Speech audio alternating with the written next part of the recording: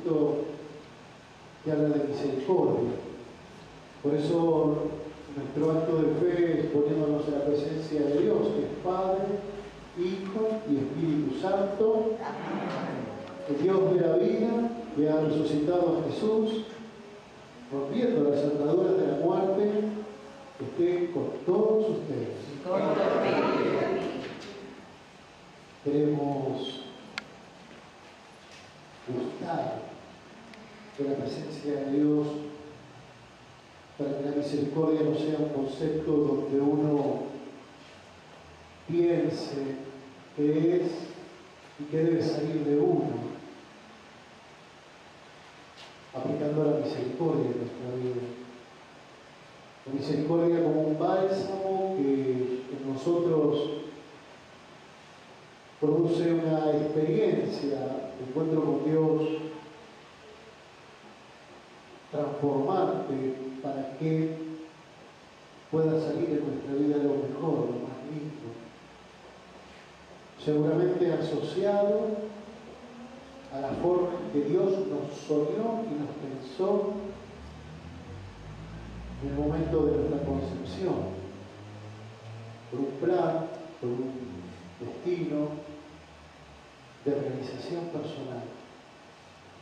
Pedirle a Dios poder experimentar, poder sentir gozo espiritual, es hablar en otros términos esa paz que seguramente muchas veces vivimos y que los místicos, los hombres y mujeres incluso después de estas experiencias decidieron dejar el ruido de la ciudad, los quehaceres cotidianos, para dedicarse a estar con aquel que les daba, que les dio, un sentir y un gustar, como dice San Ignacio de Loyola, en introducción a los ejercicios ignacianos. Un sentir, un gustar de las cosas de Dios que hace que el apetito interior, no hablo de la panza, sino que hablo del alma, quiera estar, citando el cantar de los cantares, por el amado, por Dios. Y eso es un regalo que Dios hace poder asistir, poder gustar, poder dejar de lado otras cosas, dejar de lado otras cosas para estar con el Señor. Entonces vivir esta misa es ir a esa esencia, de saber quién está acá, Jesús está acá. En términos del Papa Francisco, misericordiándonos que seamos capaces en esa misericordia de experimentar una transformación. La primera es marcar un cambio. Si vienes domingo, tuvimos las corridas, tenemos muchos pensamientos, muchas palabras en la cabeza y en el corazón. Entonces estar con Jesús misericordiándonos es apagar los ruidos para decir, como dice la palabra de Dios en la transfiguración del Señor, qué bien estamos acá. Qué bien estamos acá. Qué lindo que es estar acá, Señor, en tu presencia. Por eso nuestro pedir perdón va a ser no solo exclamarlo, sino dejar que el agua que nuestro querido diácono esto va a asperger en nosotros nos toque. Para que nuestra ropa, nuestra piel se sienta abrazada por la misericordia de Dios, que nos renueva una fuerza que viene desde antiguo, cuando nos bautizaron. Y nos hicieron renacer espiritualmente y no tenemos memoria porque la gran mayoría éramos pequeños. Se produce un cambio sustancial, cortando con el pecado original, asociándonos a Dios como hijos. Pero no podemos dejar de saber que a lo largo de la vida, en todo lo que vivimos, también respondemos de nuestra precariedad con concupiscencia, pecado. Entonces que sea el agua, esa agua bendecida, la que en el momento que nos albergue nuestro diácono consagrado, tan consagrado como sacerdote que preside, el diácono, sea esa agua bendecida que él la va a bendecir, el agua que nos recuerda.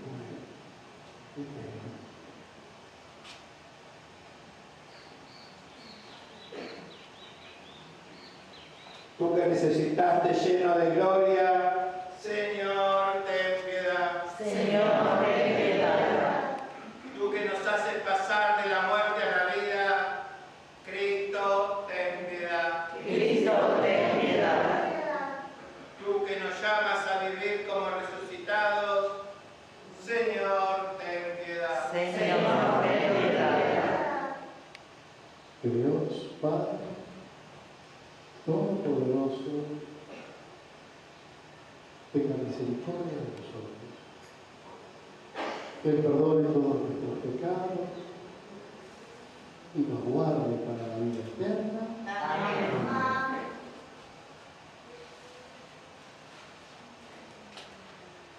Dios te salve María. María, llena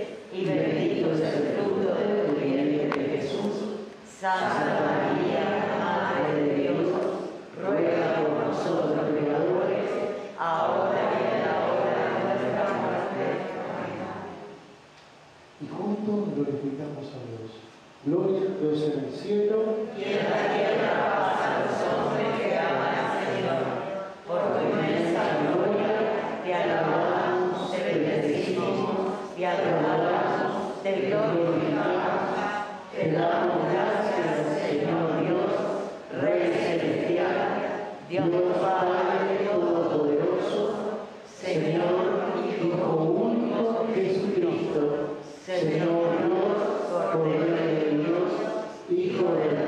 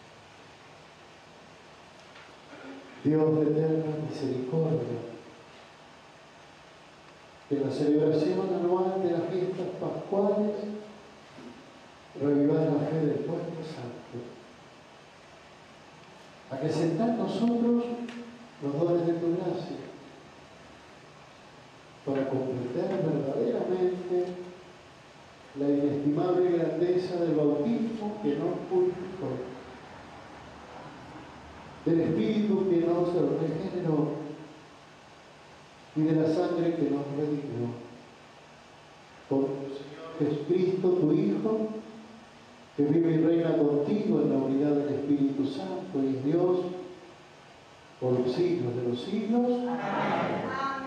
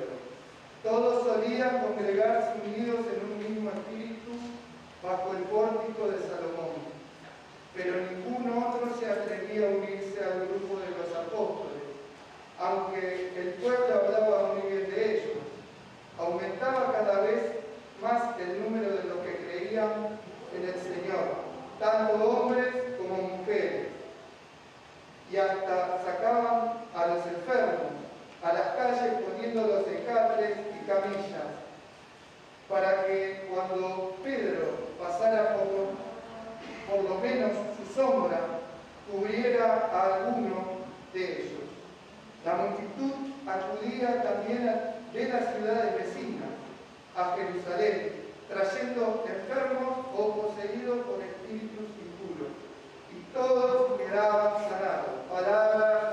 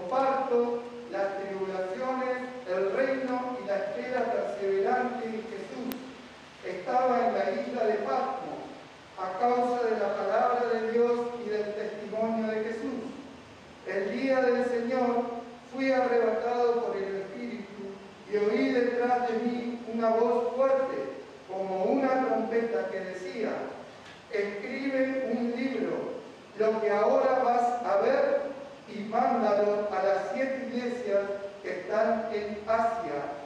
Me di vuelta para ver de quién era esa voz que hablaba y vi siete candeleros de oro y en medio de ellos a alguien semejante a un hijo de hombre, revestido de una larga túnica estaba ceñida a su pecho con una faja de oro.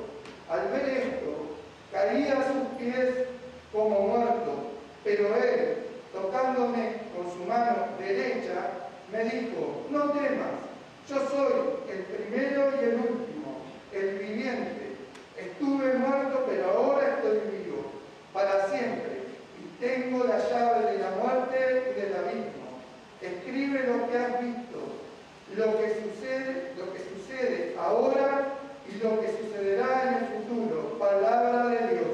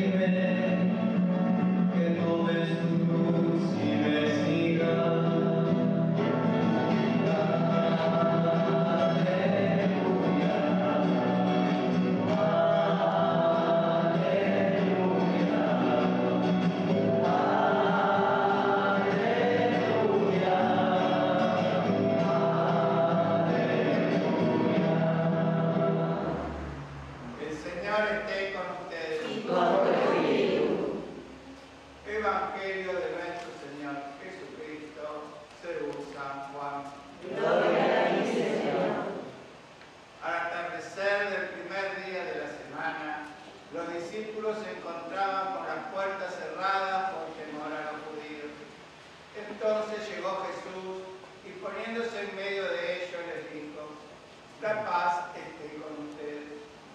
Mientras decía esto, le mostró sus manos y su costado. Los discípulos se llenaron de alegría cuando vieron al Señor. Jesús les dijo de nuevo, la paz esté con ustedes. Como el Padre me envió a mí, yo también los envío a ustedes. Al decirles esto, sopló sobre ellos reciban el Espíritu Santo. Los pecados serán perdonados a los que ustedes se los perdonen y serán retenidos a los que ustedes se los retengan. Tomás, uno de los doce, de sobrenombre de mellizo, no se encontraba con ellos cuando llegó Jesús. Los otros discípulos le dijeron, hemos visto al Maestro. Él le respondió, si no veo la marca de los clavos en manos, si no pongo el dedo en el lugar de los clavos y la mano en su costado, no lo creeré. Ocho días más tarde, estaban de nuevo los discípulos reunidos en la casa y estaba con ellos Tomás.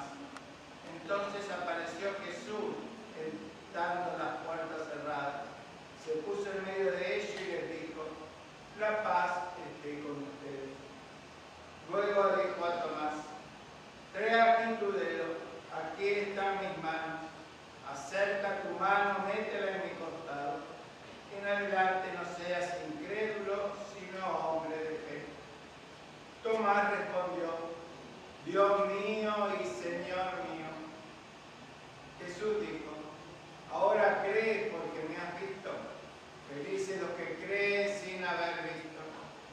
Jesús realizó además muchos otros signos en presencia de sus discípulos que no se encuentran relatados en este libro. Estos han sido escritos para que ustedes crean que Jesús es el Mesías, el Hijo de Dios, y creyendo tengan vida en su nombre. Palabra del Señor. Gloria a ti,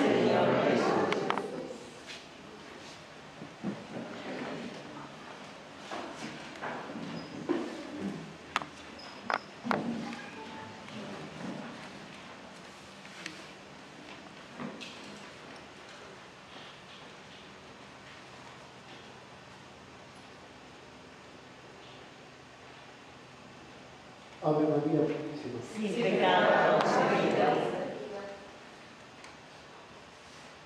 Una intención comunitaria y de manera especial también mía es por la salud de Luis, el esposo de Luis, que está internado y en el hospital. Celebrar la fiesta de la misericordia de Jesús, de Jesús misericordioso, cada año en la capilla, renueva no solamente lo que fuimos viviendo, sino lo que vamos siendo en nuestras comunidades, y que es un poco el sentido de la fe. Uno se encuentra con Dios no para conocer, que quedaría en el ámbito de la cabeza, de la ciencia de Dios, un ateo puede estudiar teología y puede saber mucha teología, pero ser ateo, sino que es encontrarnos con Dios. Que cuando uno pone la balanza, si quiero saber mucho, mucho, mucho de Dios, obtener ciencia espiritual y encuentro con Dios experiencialmente, que elijo, yo al menos, elijo en primer lugar poder estar con Dios, poder estar en Dios, para que se transforme el ser, no el saber. Y cuando nuestro ser se renueva a la luz del encuentro con Dios, la vida cambia. Por eso los apóstoles lo siguieron, porque les hablaba, el término dice la palabra con una autoridad, y el término autoritas viene de esto de crear. Les hablaba recreándolos y dándole en ese ser una nueva entidad de plenitud. Se realizaba en el encuentro con alguien que tenía respuestas, pero no respuestas a todas las dudas como puede tener un hombre o una mujer dedicado a la ciencia o una ciencia particular, sino que las respuestas de Jesús eran respuestas existenciales. Hablaba y tenía la palabra justa que se necesitaba para despejar el camino de encuentro, no con lo exterior, sino con las dudas de la mismicidad, el ser más profundo, citando a Infantiles sacerdote Jesús. Celebrar la divina misericordia, para mí es una gran fiesta, porque la celebro. Celebrar la divina misericordia teniendo una capilla consagrada a Jesús misericordioso es un privilegio. Se enriquecía el ánimo de un sacerdote de la diócesis en estos días cuando le comentaba que teníamos la capilla Jesús misericordioso y el padre que se dedicó a estudiar el milagro de Sor Faustina y lo que hace a la Divina Misericordia, incluso viajando. Celebraba enterarse, porque a veces pasa que uno es rico en la diócesis sin saberlo, que teniendo todo, no nos damos cuenta que lo tenemos, entonces vivimos con pobreza o buscando fuera. como puede pasar en el propio corazón, que a veces uno anhela el bien de otro sin descubrir que uno lo tiene en sí, o uno mira a otros pensando que otros son ricos y no nos damos cuenta de nuestras propias riquezas que son diferentes. El secretario del obispo, el padre Cristian Ugarte, una fineza de persona y un enamorado de esta devoción, a quien en algún momento voy a invitar a venir a consagrar y a predicarnos, porque sabe mucho de esto. El tenor de la conversación con Cristian fue, dado que es secretario privado del obispo, Monseñor Marcelo Julián Magni, invitar al señor obispo a que nos acompañe hoy. Nos hace llegar por intermedio su cariño, pero ya tenían subido compromisos en otras comunidades. Me propuso pasar a saludarnos, como también lo hizo en Itatí, cuando celebramos el 8 de diciembre. El 7 de diciembre, la víspera del 8. Me tomé el atrevimiento y quiero tener la autoridad para hacerlo, de agradecerle, para que pueda venir a descansar y que no sea para las corridas. Porque tenemos esa capacidad grande en la comunidad y muy particularmente aquí, de generar en el otro un espacio para que uno diga qué lindo que es quedarse, no que quiera Así que les hago llegar el cariño del Monseñor y les hago llegar el agradecimiento y la celebración que despertó el Padre Ugarte, secretario privado del obispo, el Padre Cristo. Saber de nuestra comunidad. No es lo mismo saber que no saber.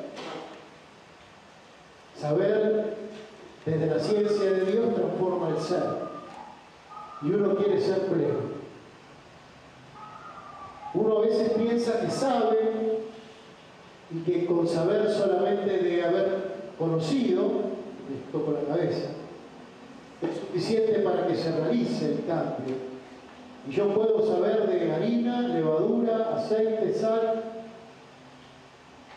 de saber de un horno encendido, de saber, de saber, pero no quiere decir que me salga el pan rico como le puede salir a otra persona. Recuerdo hace años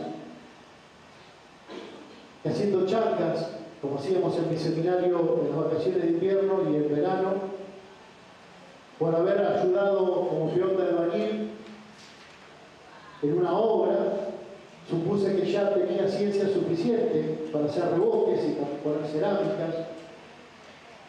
Entonces, con la platita que gané de esa charca, le regalé a mis papás ponerle un revestimiento a las paredes del comedor y cambiar las cerámicas del baño, que no hacía falta, pero a mí se me ocurrió. Me fui pobre a volver para la vida de mi viejo, como siempre. Y cuando terminé de hacer todo, me di cuenta que podía saber mucho de filosofía en ese momento, pero si había algo que no sabía era de la ingeniería. Y me hicieron notar mis padres y mis hermanos. Y ella no sabía, y yo tampoco. Y se desperdició material, se desperdició tiempo, y yo antes de hacer el trabajo dije, esto es re fácil, porque esto lo hizo el tal lado con los muchachos, que lo que hicieron fue ponerlo así, hacer la pared, claro, pero había detalles, tomar medidas, niveles, ángulos, levantar el material anterior, alisarlo, y cuando uno lo mira de afuera parece muy fácil hacer pan casero. Cuando uno hace el pan casero uno descubre que como todo, no es lo mismo saber que en el ser hacer. Y yo cuento esta anécdota que es mía, porque también me ha pasado hablar con gente que estudió una carrera universitaria, la carrera de grado, como puede ser cocinar, como puede ser pintar, como puede ser muchos oficios, y uno piensa que si fulano se recibió de lo que fuere, es así, de taquito. Y cuando uno empieza a meter el hocico, la nariz, a olfatear un poco de qué se trata ser profesional de distintas áreas, uno se da cuenta que no es tan fácil. Porque aparte de estudiar y mucho, hay dedicación, hay tiempo, hay exámenes, etcétera, etcétera, que no es solo la memoria, sino que también es el cuerpo. Y que en la memoria y en el esfuerzo es mucho más de lo que uno puede suponer que pasa solamente cuando por el auto, la bicicleta, el colectivo o a pie transitamos la vereda de la UTN. La UTN es la Universidad Tecnológica. Entonces uno si piensa que porque entra ya sale recibido de ingeniero, no es tan fácil. O técnico, o licenciado, y si pasamos por la UBA, medicina, enfermería, bueno, y etc. Lo mismo pasa en profesiones y en oficios del ser como ser diácono. Y cualquiera, y ese resto diácono puede ser cualquiera. Ser cura. Sí, ese padre Soto cura puede ser cualquiera. Si era eso nada más, que lo mandaron a la teología, Después vemos. Lo mismo le pasaba a la gente que lo veía a los apóstoles haciendo signos y prodigios en el pueblo.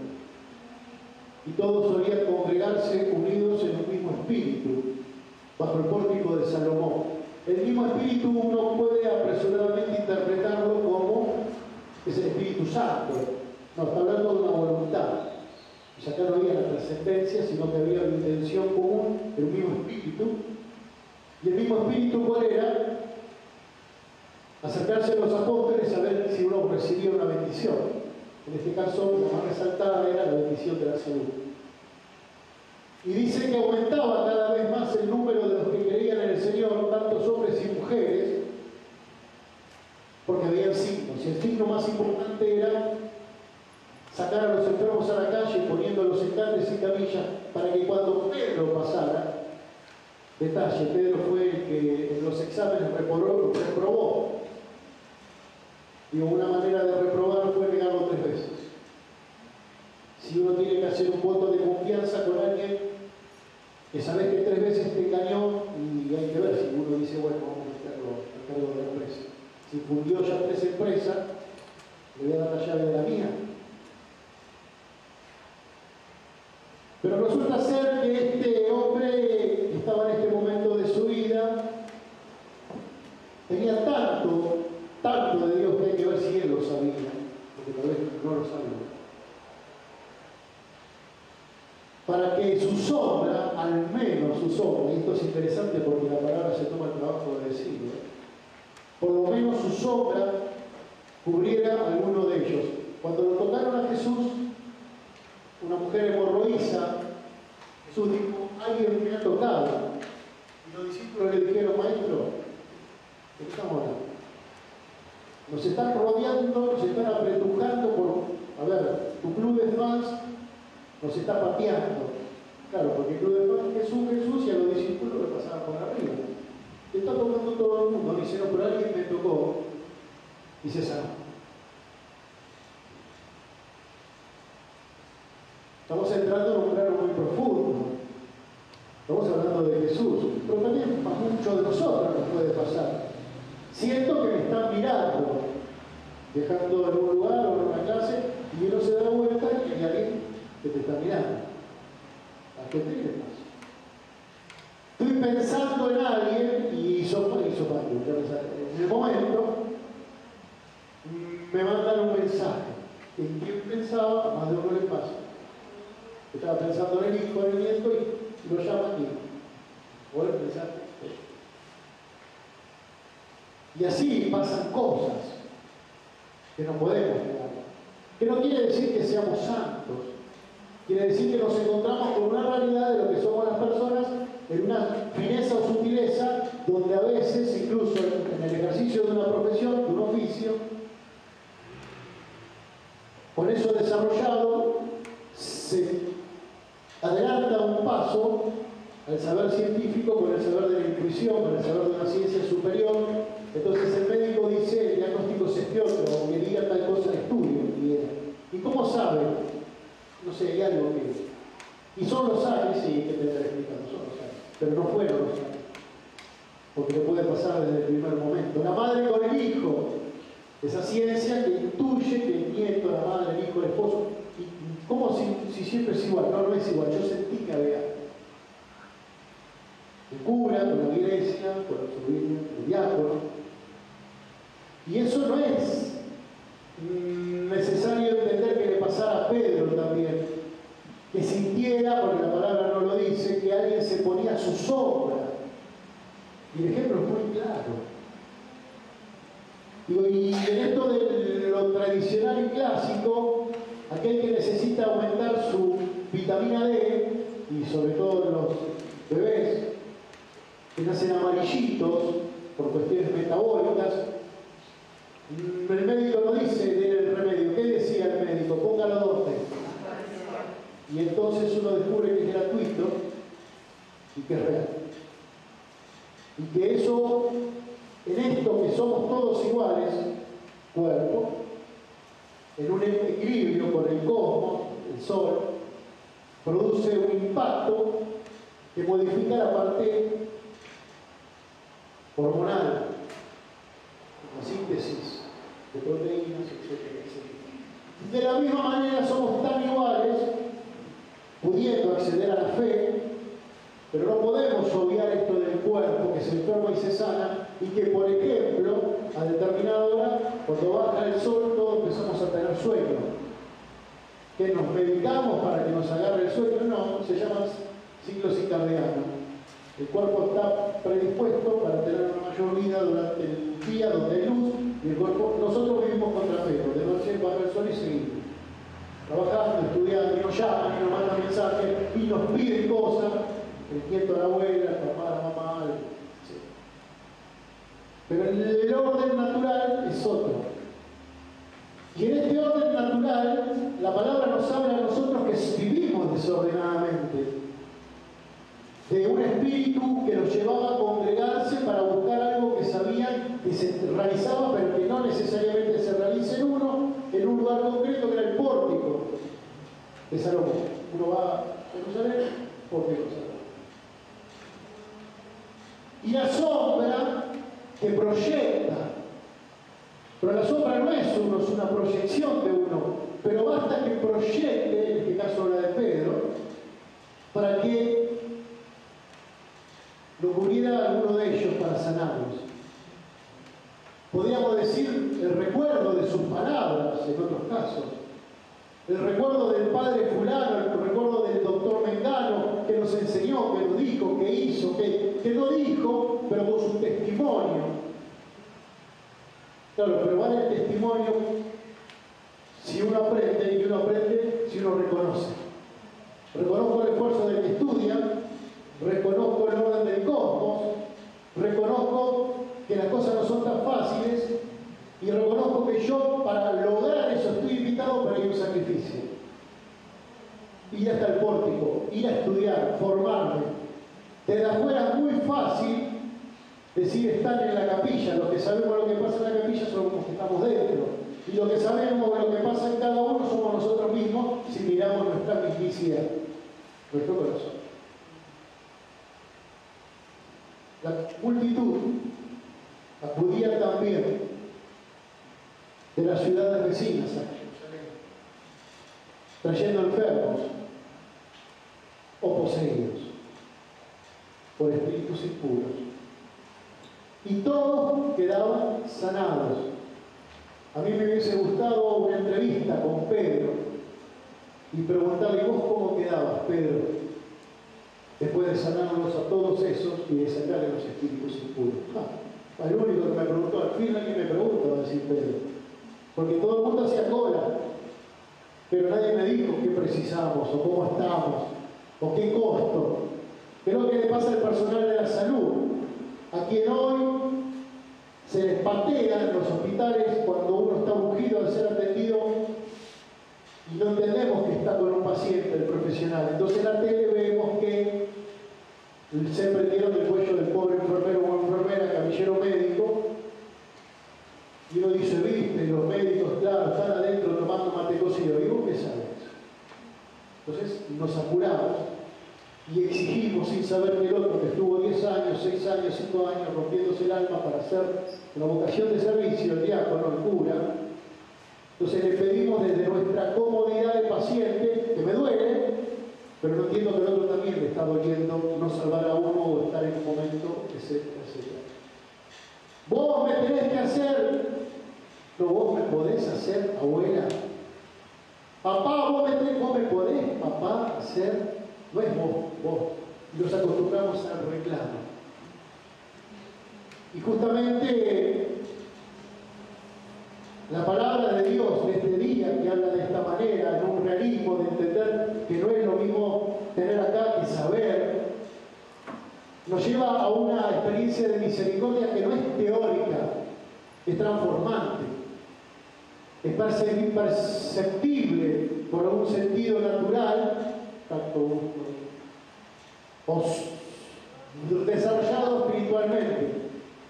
Hay gente que tiene percepción espiritual y vive acorde a esa percepción, entonces más cuidadoso, más delicado, como el que tiene un oído absoluto en la música, que cuida los ruidos, el que tiene en el espíritu una fineza de, mucha vida interior, es más cuidadoso, porque no tiene, tiene mucha conciencia de Dios y que puede hacer daño a otros sin querer hacerlo. Entonces va caminando buscando que su sombra toque, porque busco hacer bien, no me permitiría hacer mal. Entonces el mucho saber harta el alma, pero nos dice Ignacio de Loyola, mucho más aún el gustarlas internamente. Ignacio de Loyola, los padres de los jesuitas, que algo de autoridad tiene. Hoy el Papa jesuita y los jesuitas sobrevivieron en la historia de la iglesia cuando fueron luchados y suprimidos y los jesuitas siguen no hubiese pasado. ¿Por qué? Porque no era solo lo que sabía, sino era lo que gustaba internamente. Y a nosotros el día de la misericordia nos invita a gustar del amor de Dios, que nos tiene que transformar. El problema de la iglesia no es teológico, porque la iglesia hace ciencia de Dios, pero puede hacer un ateo. El problema de, de, la iglesia es cuando nos alejamos de ese encuentro con Dios o nos acercamos a Dios poniéndonos a la misma altura. O no descubriendo que Dios también le habló al otro y que el otro tiene una experiencia de Dios que debo respetar, distinta a la mía y que hasta que no conozca lo que el otro tiene, yo no puedo avasallar. Me descalzo, dice Moisés, para estar delante de, algo que no entiendo, una salsa que ardía sin consumirse. Me descalzo, me, humillo, me, saco la, la, la chacleta. No soy digno de pisarlo, porque es un suelo sagrado. Un suelo sagrado es el otro. Por eso misericordia habla de uno para con Dios, Dios para con uno, Dios para con el otro, yo para con el otro. ¿Cómo voy al encuentro del otro? En la capilla se respira la atmósfera de la misericordia, no por el hecho de que todos nos perdonamos y porque nos queremos así, desde no importa, no pasó nada, sino que la misericordia es más. Es estar en ese lugar donde uno dice, yo de acá no me quiero ir, Jesús misericordioso, arriba los seis. Cuatro, seis, cuatro, seis. Bueno, bien, estamos acá todos igual, que pese lo mismo. Y eso no lo hace la gente, que son maravillosos de la comunidad. Eso lo hace Dios que habita acá y la gente que está acá que se deja tocar por Dios. No es que nace de un grupo de ONG de, contención o autoayuda donde nos tratamos bien y porque nos tratamos. No, es otro tema. Hay una presencia de un Dios que quiere quedarse acá y no se va, porque los que son de la comunidad se quedan respetuosamente contemplando el misterio de un Dios que desde la misericordia nos da una caricia al alma todo lo que llega. Y no pasa en todos lados, acá sí pasa.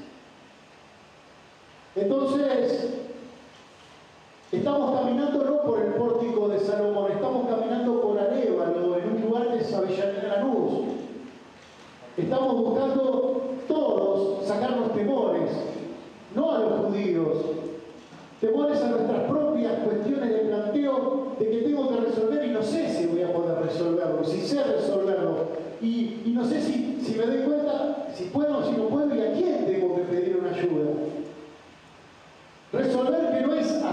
sino resolver en el ser para poder tener paz, que eso es lo que deja Jesús, le doy la paz. En una sociedad donde no solamente se trata de tractores, sino que se trata también de acostumbrarnos a la violencia de un pobre loco por el pato rompiéndole la cabeza a un policía en esta semana. Se trata de la violencia de la calle donde el pibe cruza la Plaza Constitución y otro pobre pibe de la misma edad robado saca un cuchillo para robarle las cosas. Y esa realidad, sumada a tantas otras, que escuchamos y que escuchamos y que no entendemos, porque yo de economía, por ejemplo, no entiendo nada, pero escucho y me da miedo. Y no se habla más de corriente, pero la gente sigue pobre porque se le quemó todo. Y etcétera, etcétera. Y no se habla de Ucrania y de Rusia, y si se habla, en Europa me dicen gente que está allá, dice acá no pasa nada, dice que no, esto es mentira lo de Ucrania y lo de Rusia. Acá en España no se habla. No, es mentira, venga, venga para España y no pasa nada. No, no te lo está mostrando, no que no pase. Cuando uno se encuentra con aquello que quiere encontrarse para tener paz, lo que dice el Señor es no temas, porque yo estoy con vos.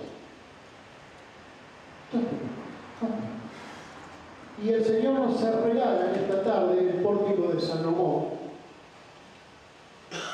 para que podamos entender de aprovechar de la ciencia de Dios, la ciencia del otro, como podemos aprovechar respetuosamente la ciencia de otro para pedir un trabajo, una luchada, un oficio, y volvernos más humildes sabiendo que no todos sabemos todo, pero nos encontramos con el que sí sabe todo, es Dios. Y no vinimos a perder el tiempo, y no vinimos solo para sentirnos bien, vinimos para decirle a Dios, tocamos, tocamos aunque sea con nosotros. Tocarnos porque una palabra tuya bastará para sanarme. Tocame para que me convierta y pueda dejar de lado lo que para mí hoy es apariencia, porque quiero ver. Quiero ver con los ojos cerrados más allá de lo que los ojos muestran. Quiero ver en la esencia. Quiero que me preocupen realmente las cosas que son merecedoras de que me preocupen. No quiero morir en la pavada, quiero ir a lo esencial. Y no quiere decir que eso signifique que otros nos autoricen a prueba. Alberto Einstein lo trataban de loco cuando hablaba de la materia relativa. Y sin embargo tenía razón, la relatividad la materia la empezar la energía atómica y todo eso. Nosotros tenemos nuestras búsquedas, que son del ser. ¿Serán felices mis nietos, mis hijos? ¿Cuántos años viviré? ¿Cuántas preguntas tenemos? Pero a veces nos distraemos e incluso dentro de la misma iglesia hasta nos hacemos problemas.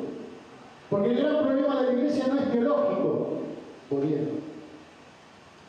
El problema de la iglesia muchas veces es que no lo dejamos entrar a Jesús, el humano objetivo, en la parte de los vínculos. Entonces nos volvemos jueces de nuestros hermanos, decretamos cómo tienen que ser las cosas, y si no somos como yo quiero, no somos. ¿Y quién te dice? Entonces se plantean cuestiones que Jesús desde su misericordia dijo, ¿quién te condena, mujer? Vete en paz. ¿Se acuerdan? ¿Dónde están los que te acusaban y querían apedrearte?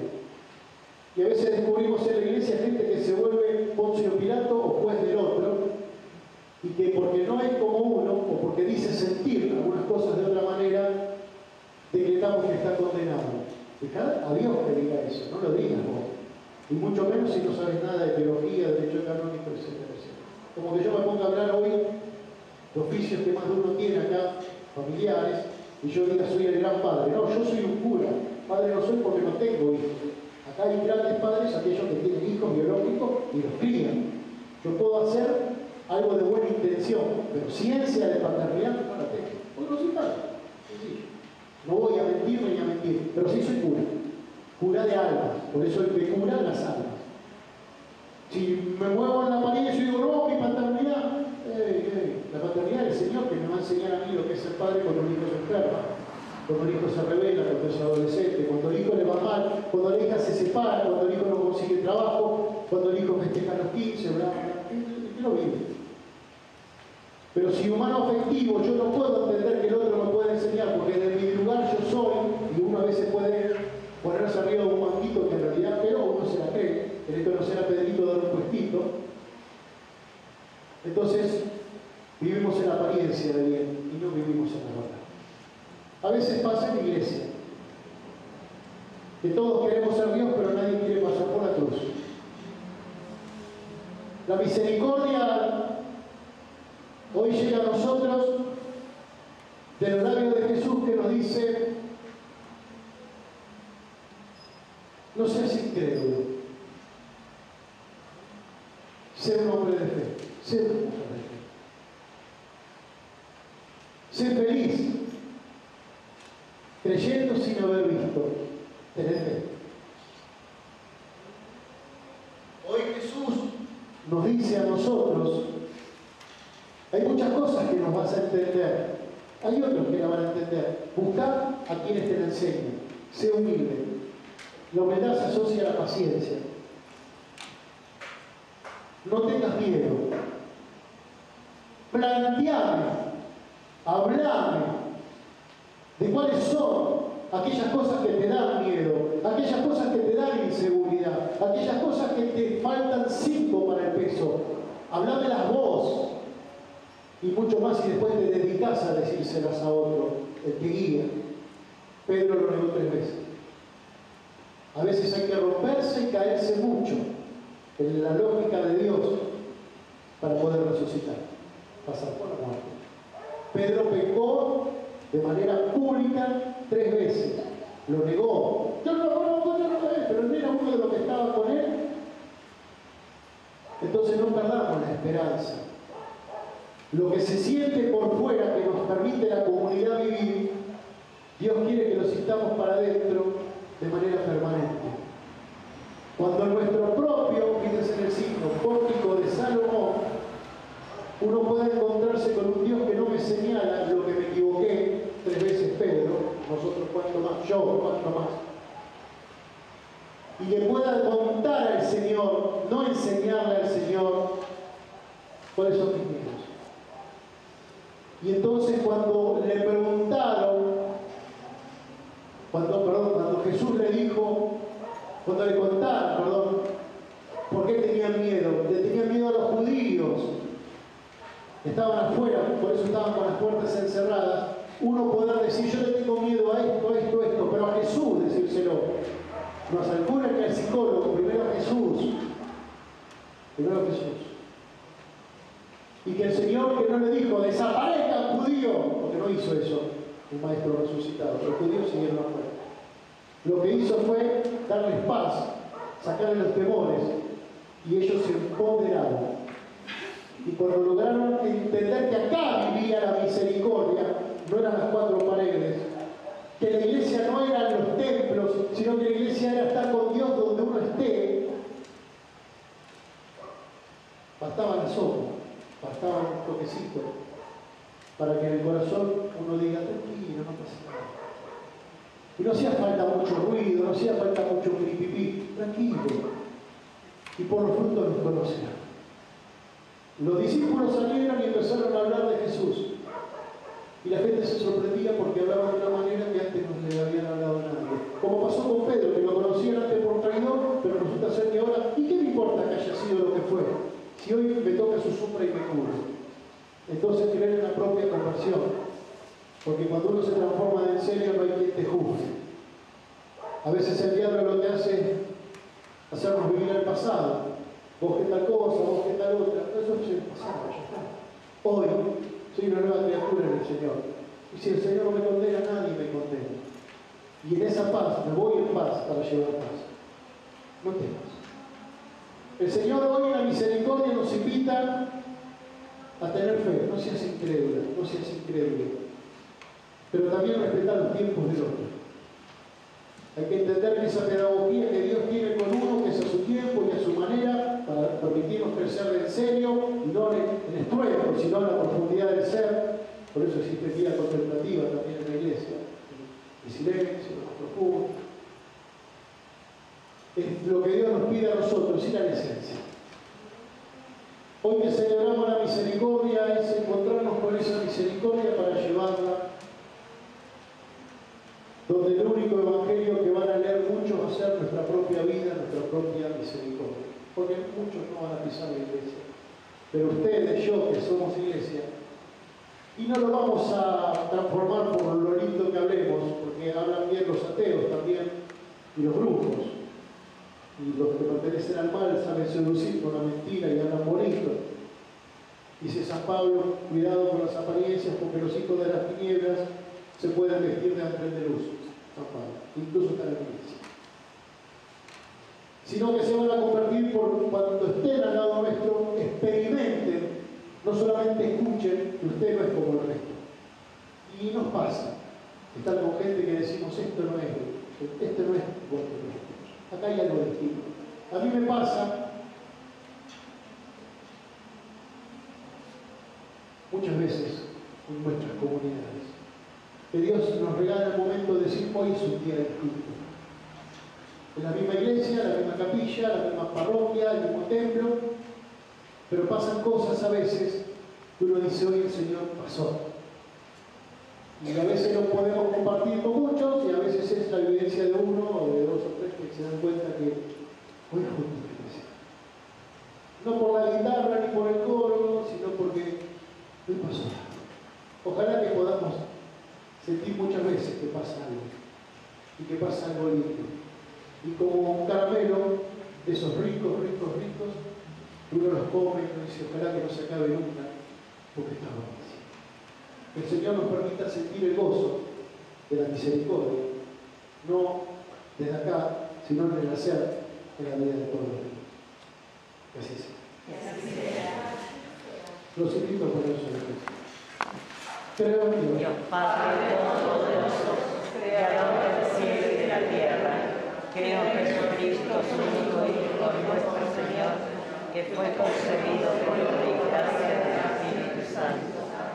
Nació de Santa María Virgen, padeció bajo poder de Poncio Pilato, fue crucificado, muerto y sepultado, descendió a los infiernos, al tercer día resucitó de los subió a los cielos y está sentado a la derecha de Dios Padre Todopoderoso.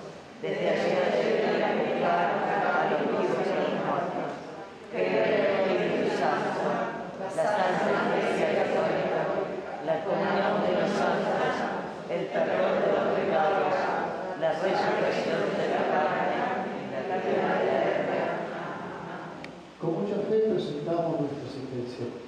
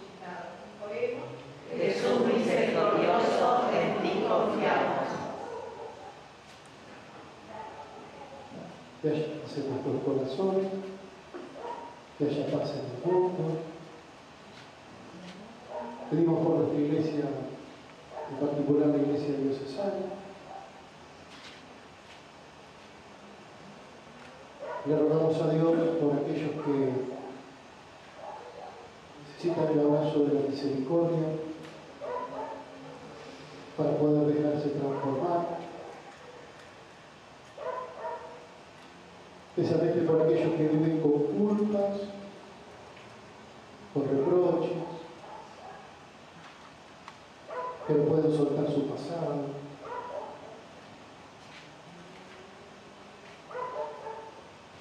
que no pueden dejarse transformar por ese Jesús que a veces dice ya se encontraba, teniendo actitudes permanentes del hombre viejo, usando términos eclesiásticos, viviendo atados traumas, a conflictos y a tantas formas de, de limitaciones que se dan en las emociones, que se dan en el corazón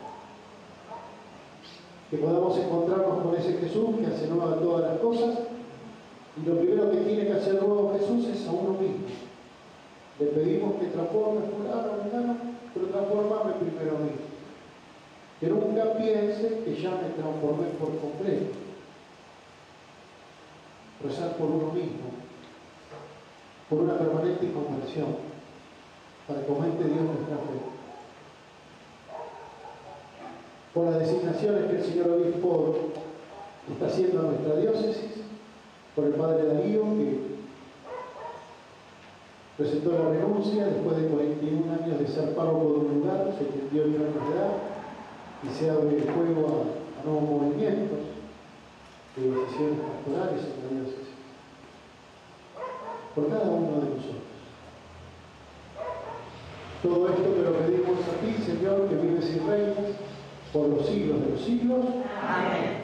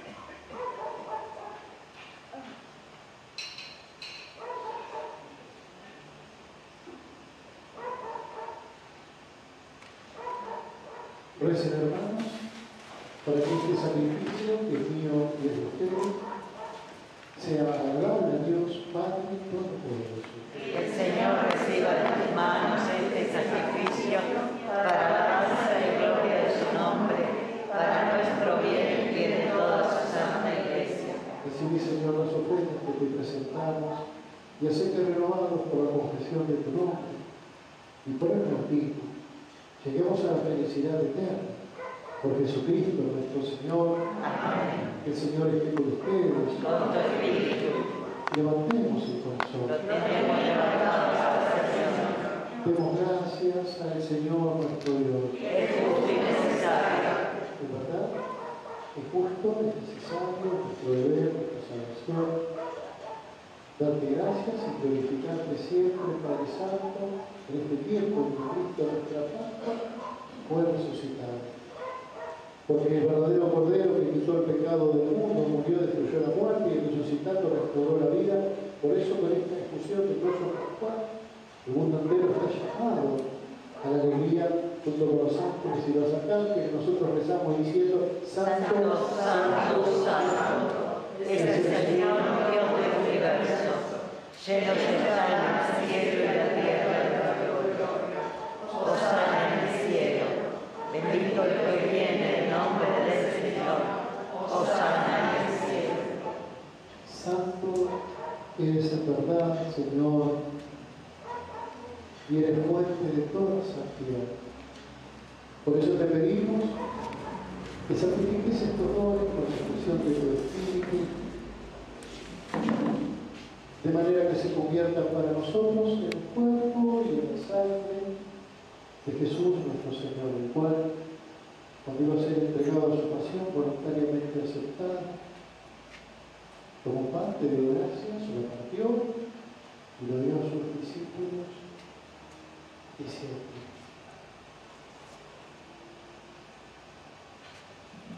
tome y coma. Todo. Porque esto es que será entregado por ustedes.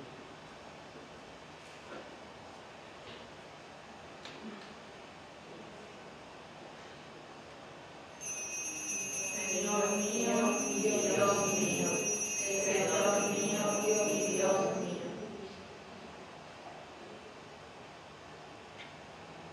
Del mismo modo, acabada la cena, tomó el cáliz por le darte gracias y lo pasó a sus discípulos, diciendo,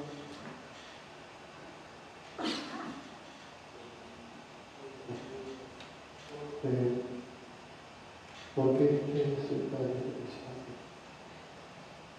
sangre, de la alianza, nueva y eterna, que será derramada por ustedes y por muchos para el perdón de los pecados esto en convicción mía. Señor mío y Dios mío, Señor mío y Dios mío. Este es el sacramento de nuestra fe. Anunciamos tu muerte, proclamamos tu resurrección en el Señor Jesús. Te pedimos por la iglesia, te ofrecemos el pan de vida y este cáliz de salvación. Te damos gracias porque nos haces dignos de servir de tus hechos. Por parte del Papa Francisco, unidos a él y unidos a Monseñor Marcelo Julián, Mati, podamos con los presbíteros, diáconos y obispos vivir creciendo en amor y en misericordia. Por parte de nuestros hermanos difuntos, de los enfermos y de todos los que murieron, en tu misericordia, retiros a contemplar la luz de tu rostro.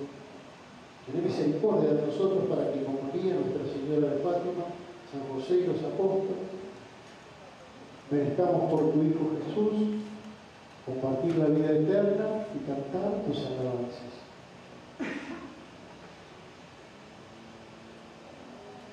Por Cristo, con Él y en Él. A ti, Dios Padre Omnipotente, en la unidad del Espíritu Santo, todo honor y toda gloria, por los siglos de los siglos, Amén. unidos y juntos, rezamos diciendo, Padre nuestro que estás en el cielo, santificado sea tu nombre. Venga a nosotros tu reino. Hágase tu voluntad en la tierra como en el cielo. Danos hoy nuestro pan de cada día. Perdona nuestras ofensas, como también nosotros perdonamos a los que nos ofenden.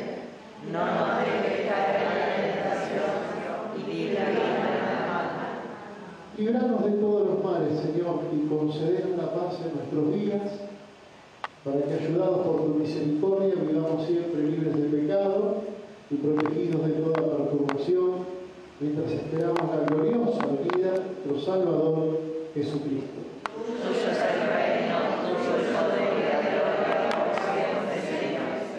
Señor. Jesús, que dijiste a tus apóstoles, la paz les dejo, la paz les doy. No tengas en cuenta nuestros pecados, mira la fe de tu iglesia, y conforme a tu palabra conceder la paz y la unidad. Tú que vives y reinas por los siglos de los siglos. Amén. Que la paz de Jesús esté con todos ustedes. Cordero de Dios, que quitas el pecado del mundo, ten piedad de nosotros. Cordero de Dios, que quitas el pecado del mundo, ten piedad de nosotros. Cordero de Dios, que quitas el pecado del mundo, danos este es Jesús. Este es el Cordero de Dios que quita el pecado del mundo. Dichosos y felices nosotros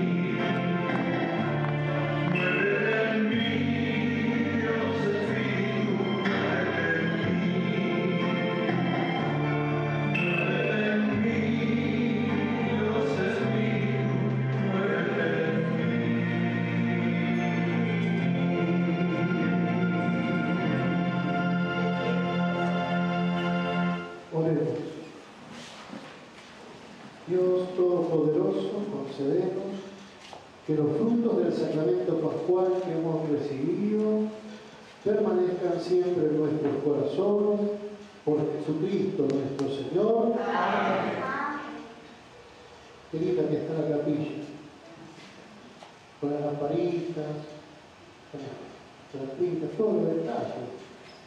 Uno mira un poco y se da cuenta siempre, siempre la creatividad, porque dice, ¿qué más puede llegar a sumar? No, no, no, no, pero yo no, digo lo que falta, yo no digo lo que viene, sino que yo digo lo lo que está.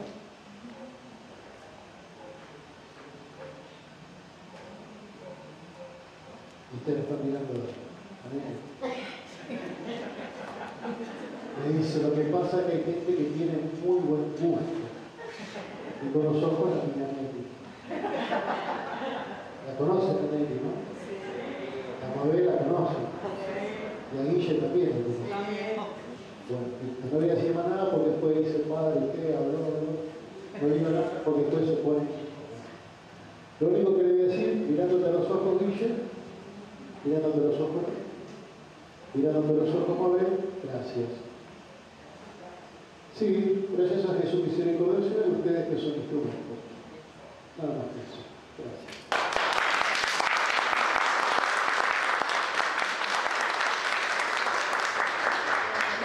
Eh, y lo lindo no es la lamparita que está en los arreglos, y, bueno, de la publicidad, la flores, la limpieza, sino es el espíritu.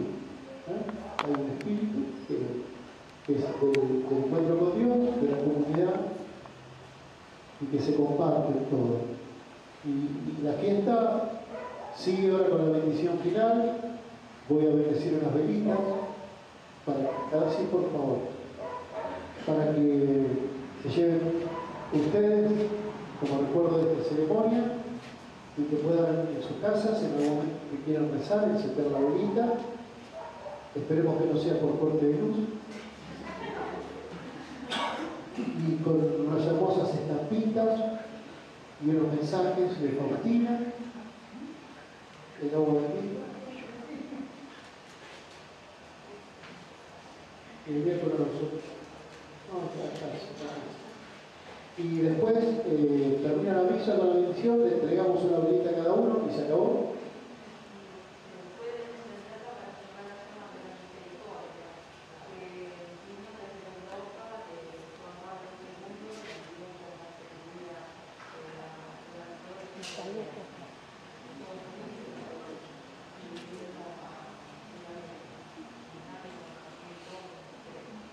Muchas gracias. Muchas gracias. Está acá esta velita. Muchas gracias. Entonces fue encendida esta vela en su momento por una vela consagrada por su santidad San Juan Pablo II, por una antorcha de la misericordia que lleva Argentina en su momento. Y los que querramos encender por primera vez esta velita, que no vaya a la casa encendida. No, uno anda por calle, no, guarda la vela, no se la vela. No, no nos volvamos locos. Pero sigue el gesto, el símbolo. El símbolo.